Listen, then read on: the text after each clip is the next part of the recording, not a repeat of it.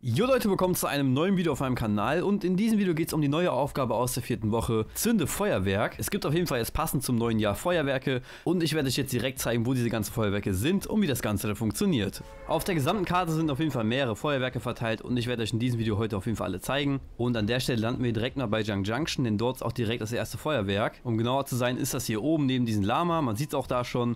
Und genau beim Feuerwerk lande ich jetzt natürlich mal und zünd das dann auch mal. So, und hier steht auch schon direkt Feuerwerk zünden. Das machen wir natürlich direkt. Und jetzt gucken wir natürlich direkt mal zu. Und zack, da wird es gezündet. Und somit hätten wir schon mal das erste Feuerwerk. Auf der Karte ist das genau hier oben. An der nächsten Stelle landen wir jetzt im Wüstengebiet neben Paradise, denn dort gibt es auch ein Feuerwerk. Und dieses Feuerwerk ist ja auch am Rand der Karte. Hier ist auf jeden Fall und ich zünde es natürlich direkt mal. Hier ist auch ein anderer, der will mich jetzt natürlich töten, aber auf jeden Fall, wir haben es hier gezündet. Auf der Karte ist es genau hier. An der dritten Stelle lande ich jetzt neben dem Block, denn dort gibt es natürlich auch ein Feuerwerk. Das ist dann bei diesen Häusern hier unten. Das sieht man natürlich auch schon hier und das zünde ich jetzt natürlich auch direkt. Und hier ist auch schon ein anderer.